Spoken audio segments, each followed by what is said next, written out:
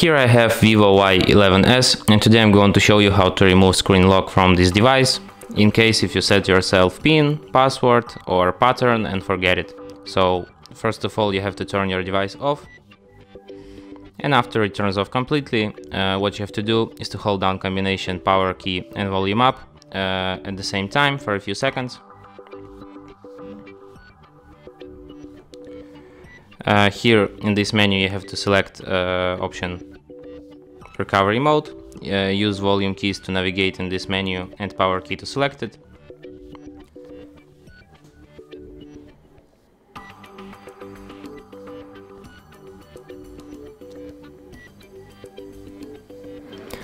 And here in the recovery mode, you have to select clear data and then clear all data. And then confirm it here by tapping OK.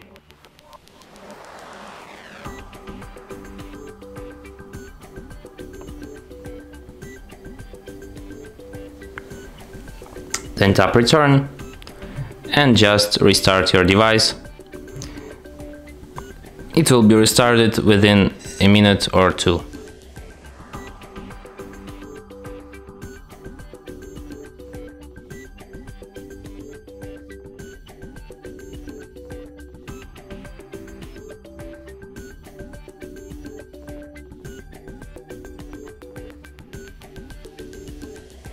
That's it.